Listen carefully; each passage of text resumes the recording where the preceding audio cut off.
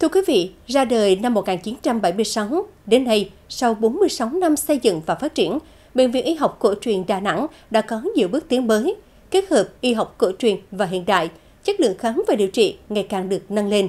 Bệnh viện trở thành địa chỉ tin cậy của người dân Đà Nẵng và các địa phương lân cận.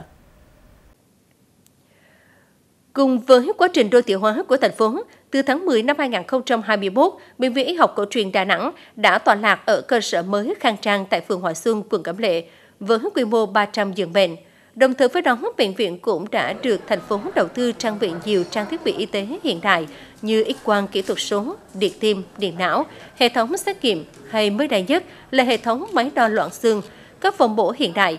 Đây là cơ sở quan trọng để bệnh viện triển khai kết hợp y học cổ truyền với y học hiện đại nhằm nâng cao chất lượng khám chữa bệnh cho người dân.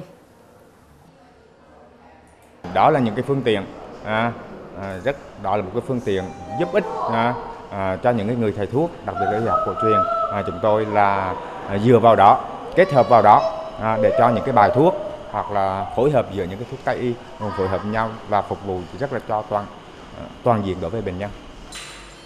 Đến nay, bệnh viện đã xây dựng và duy trì hoạt động 10 đơn vị chuyên sâu nhằm chuyên môn hóa và nâng cao chất lượng hiệu quả điều trị. Hàng trăm quy trình kỹ thuật về y học cổ truyền trong khám và điều trị bệnh nhân cũng đã được xây dựng và đạt hiệu quả cao.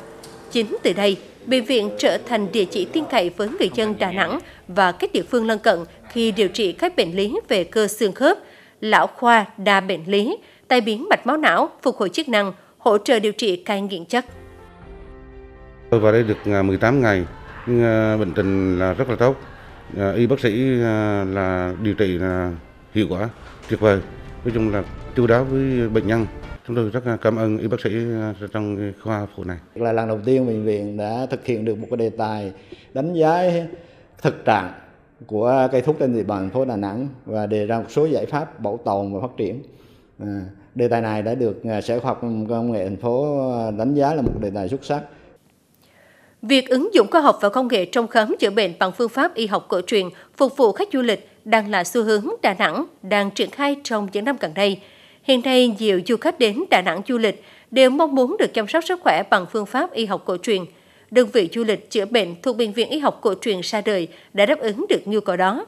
Trong tương lai, bệnh viện dự kiến sẽ thành lập thêm khoa chăm sóc giảm nhẹ, trung tâm chăm sóc người cao tuổi nhằm đáp ứng ngày càng tốt hơn nhu cầu chăm sóc sức khỏe bằng y học cổ truyền của người dân.